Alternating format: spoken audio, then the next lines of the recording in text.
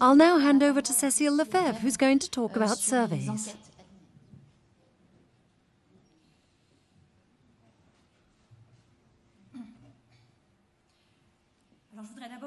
Firstly, I'd like to thank the organisers for giving me this opportunity to talk about surveys. Surveys are a vital area of INED's work, as we've seen, and which help make our institute what it is. Surveys span a whole range of activities at INED, from design through detailed preparation of implementation on the ground to documentation, dissemination, and archiving. But before I start, I would like to pay homage to two people who recently passed away too soon, who made a huge contribution to surveys at INED and who also meant a lot to me personally Pascal Ardouin and Martine Quaglia. So I would just like to remember them before I begin.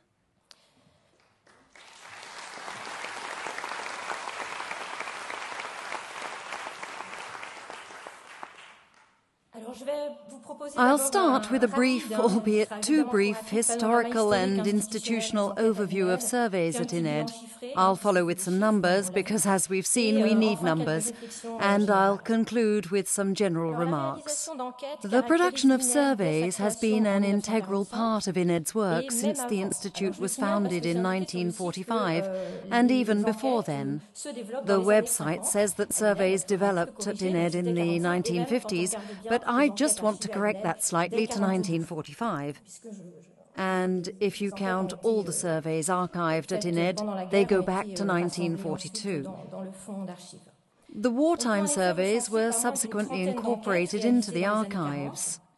Some 30 surveys were conducted in the 1940s. Some were very small scale, but as Catherine Bonvalet said earlier, three themes emerge that reveal a need to take stock after the war. There are surveys on the intellectual development of children, many surveys about families' living standards, especially housing, and opinion polls. Those were the main issues covered in surveys in the 1940s.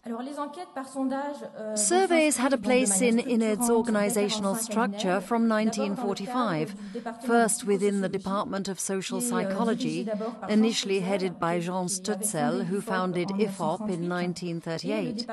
He was soon succeeded by Alain Girard. Numerous surveys were conducted over the next few decades on women's work, on the ideal number of children, on the state of the population, on cohorts of school children, on immigration, or the famous survey on choice of spouse, to name but a few.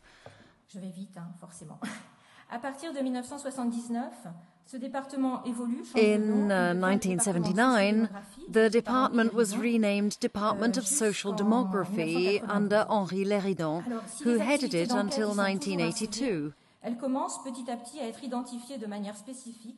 Mr. Léridon oversaw the creation of a surveys unit within the department, which was led by Benoît Riandey, who came to INED from Crédoc.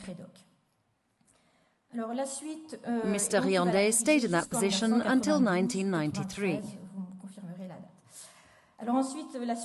The rest you know. In 1982, the Surveys Unit became the Surveys Service, an entity in its own right. The next key date was 1992-1993, when INED's director, Jacques Magaud, decided to centralize all of the survey activities there. In other words, although the surveys service already existed, it wasn't until 1992-1993 that it incorporated everyone who had been working on surveys in different units.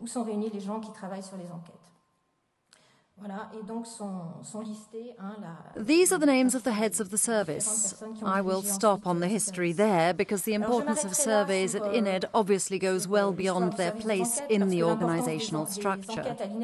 Nevertheless, I do think that having a single centralized service has contributed enormously to the visibility and continuity of the surveys at INED by bringing methodological innovation and cumulative experience together, because this is what makes our system so special and valuable. Now for a few numbers. To illustrate the numbers, I hope it's legible, I used the NESSTAR catalogue of survey references, which is managed by the Surveys Service.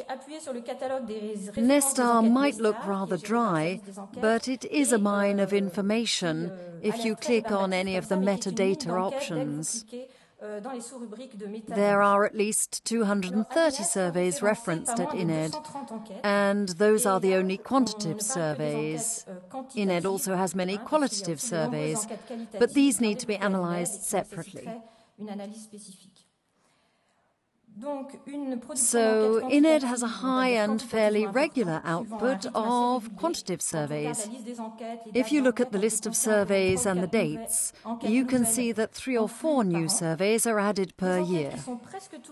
Almost all of the surveys are documented. Although the data file is missing for many of the surveys, that's the difference between the two columns, we do have valuable metadata. The available data files, covering about 50 surveys or one fifth of the total, are widely accessible to the research community. That percentage will increase as the most recent surveys are made available. Those 230 references cover a wide variety of surveys. If we take a closer look, we are struck by the diversity of themes methods, populations, potential for generalization, and relationship to social demand and current issues. To simplify, the surveys can be divided into three main types. Firstly, there are very local, high specific surveys.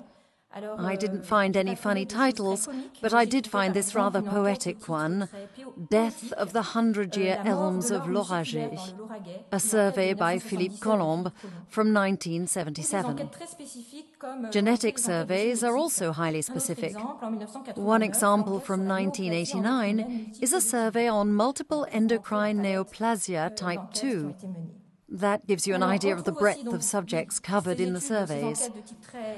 Secondly, in addition to those highly specific surveys, there are exploratory surveys of small and medium sized samples. An example of this type is a survey of young homeless people in Paris. Exploratory surveys are intended as models, prototypes, or a basis for further research.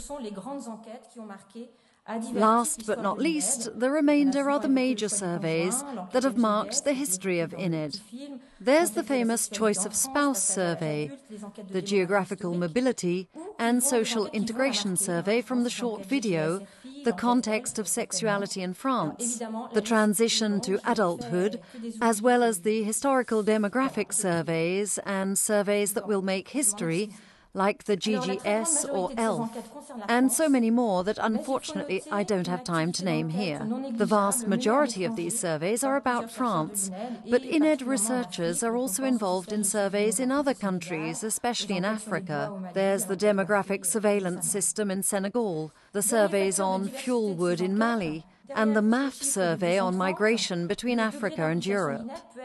Another way in which the surveys are highly diverse is the variable extent of INED's involvement.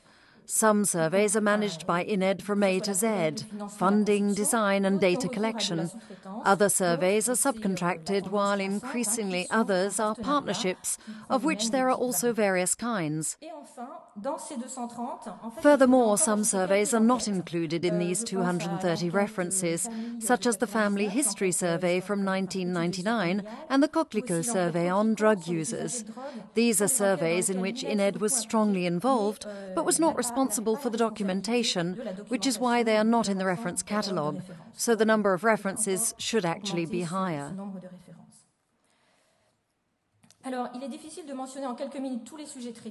It's hard to list all the subjects covered in a few minutes. I've given you a few examples of their variety. Euh, euh, As a fun exercise, I entered the titles of the 230 surveys to produce a euh, visual of the frequency of key words. This is the result. Not surprisingly, we see the leitmotif of this morning the overarching theme for INED and INED surveys, the family, the family in France. Many survey titles also refer to age, generations, aging, childhood, and youth. Several words come up in connection with immigration. We can also see many spatial terms municipality, districts, Paris. But that is probably a title effect, because the title often indicates the geographical scope of a survey. Those titles are obviously only a hint at a thematic, chronological history that would require more time. But if I had to name the most important trends from the past 25 years of surveys, I would probably highlight two. One major feature is the exploration of the margins of society, i.e., the sensitive issue of vulnerable population groups. The other is that demographic trend surveys and longitudinal studies have expanded considerably. In conclusion, I'd like to share a few general comments with you about what makes INED's surveys so special.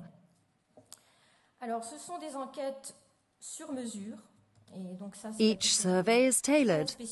That's something specific and precious about INED surveys.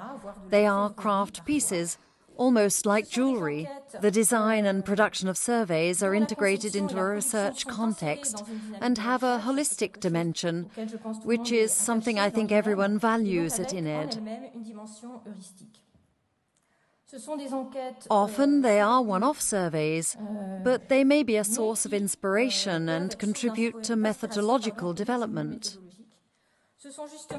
The surveys are often methodologically innovative Stéphane will talk more about that. For example, the technique form, sharing the burden, was used in the homeless surveys. The family employer survey was unusual in linking the home and the workplace.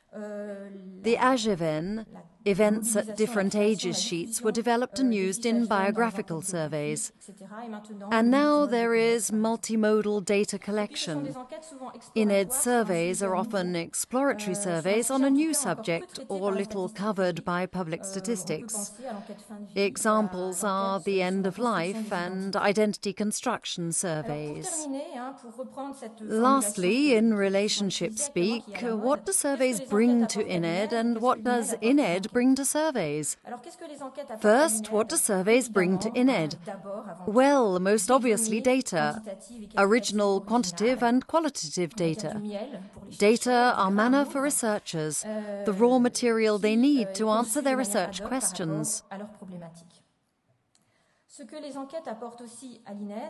What surveys also bring to INED is reputation, recognition, and visibility.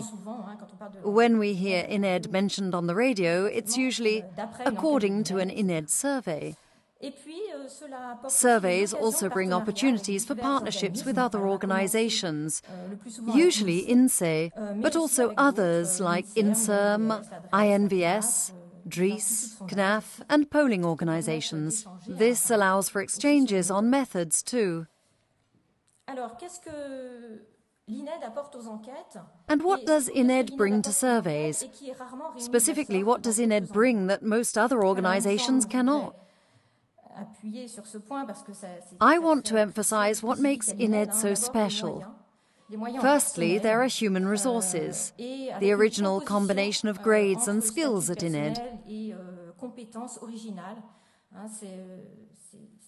The success of INED surveys depends on the high ratio of administrative officers and technicians to researchers and the productive working relationship between their complementary skills.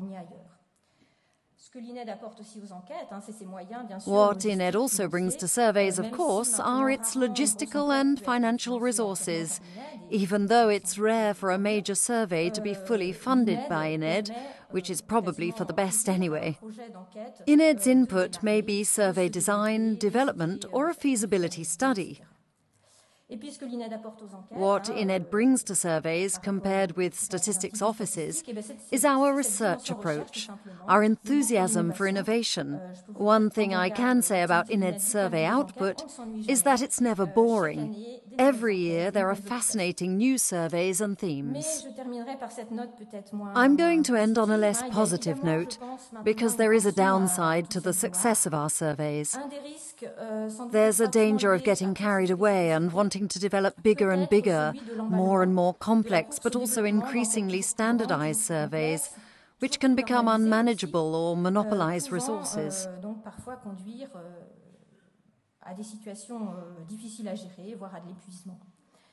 We don't always need a massive survey to produce good research, which is also worth remembering given the importance of securing funding and maintaining statistical quality. I'll now hand over to Stéphane, who will talk to you about quality and complexity. Thank you.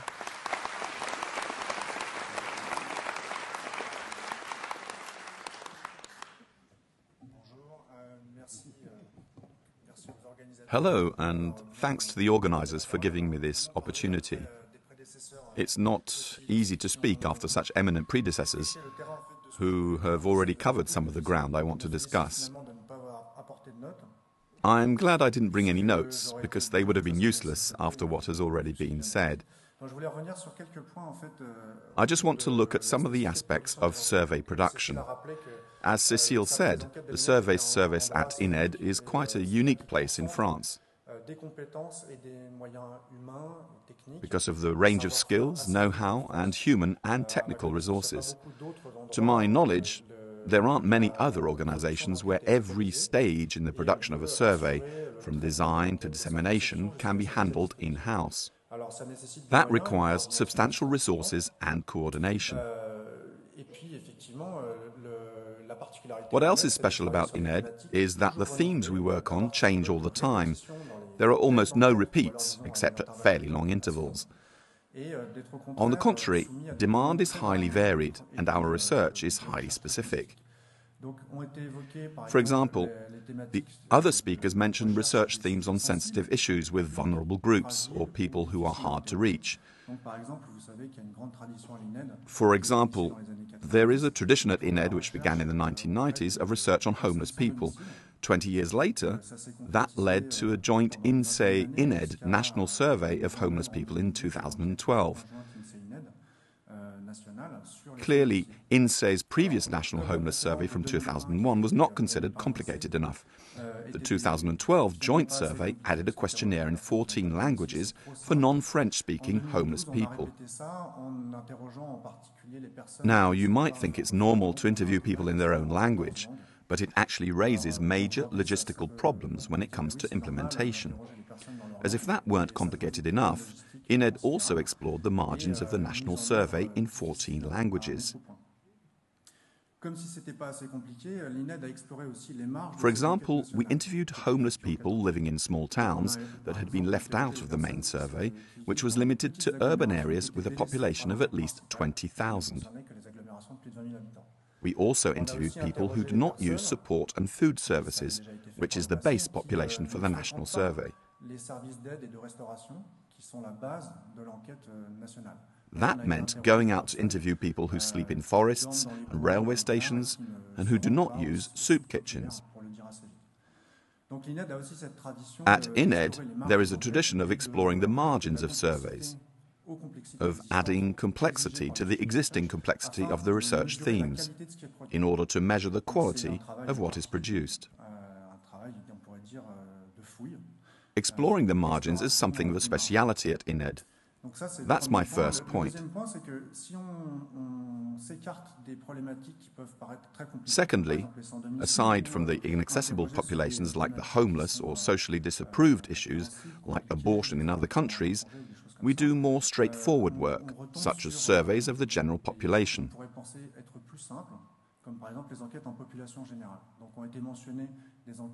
Other speakers have mentioned joint surveys with INSEE, such as the Families Survey, where INED benefits from INSEE's logistics to conduct household surveys using a tried and tested methodology. INSEE surveyors, trained by INED and INSEE, go into people's homes and conduct interviews using a computer based questionnaire.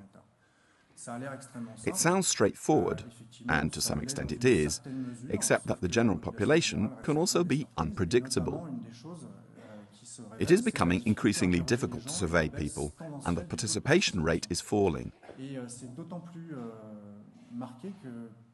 That is most obvious in surveys where INED does not use INSEE's services and therefore conducts surveys by telephone, which has become increasingly complicated. To give you an example, I did not originally come from INED. I learned about producing surveys elsewhere. One of the surveys that taught me things was the ASCF Sexual Behavior in France survey, which was produced by INED in 1991 to 1992. To my knowledge, it was the first telephone survey on such a sensitive topic as sexual behavior. It was fiercely debated at the time, and the stumbling block was not so much the telephone survey itself, but convincing people of the legitimacy of the approach, the type of data collection, and the quality of the responses we could obtain.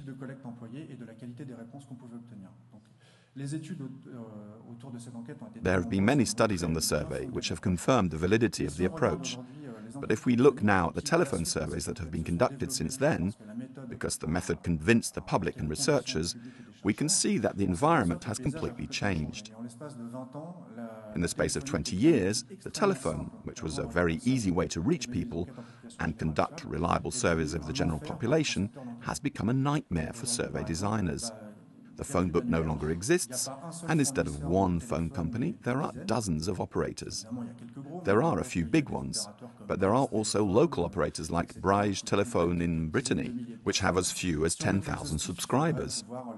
If we want full coverage, we must be able to survey all of these people. Without a phone book, we use computer generated numbers. And that raises another problem. People have more than one kind of phone. Many of us have a landline, a mobile, and an internet line. To make matters worse, various home appliances, lifts, and roller blinds are connected to phone numbers because they can be activated remotely. Let me tell you, it is not easy to get information about the sexual behavior of the owners of roller blinds by asking the roller blinds. Even though 99% of the population can be reached by telephone, even homeless people, who we might have assumed were excluded from telephone surveys,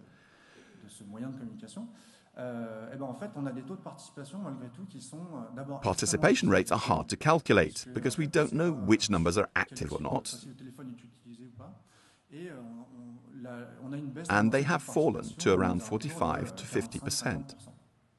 Conducting an epidemiological or demographic survey with a 50% participation rate for technical reasons, and because people are wary of surveys, because of the confusion between marketing and research, is problematic.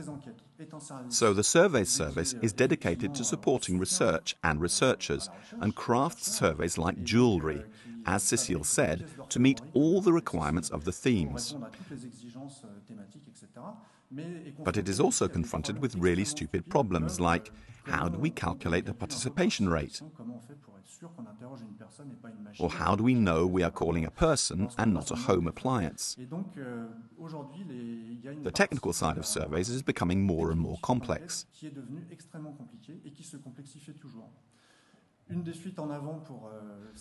One appealing substitute for the telephone is the Internet. But the Internet underdelivers on representativity. It is tempting to run multimodal surveys, but respondents don't answer in the same way when they are alone in front of a screen or talking to a person over the phone or face to face with an interviewer. The mode of collection strongly influences the responses no one has a satisfactory solution for standardizing data collected through different modes. The temptation is to go large scale, based on the idea that since it is hard to find people to survey, we should recruit the respondents once and for all, and then survey them whenever we want. In that respect, INED has joined Sciences Po on the ELIPSS project, which is a longitudinal representative panel survey where the panelists receive a touchscreen tablet and agree to answer a 30 minute questionnaire once a month. There is a big investment in initial recruitment to make subsequent surveying easier. But all of these innovations and experiments cost money and take time, which have to be incorporated into survey planning.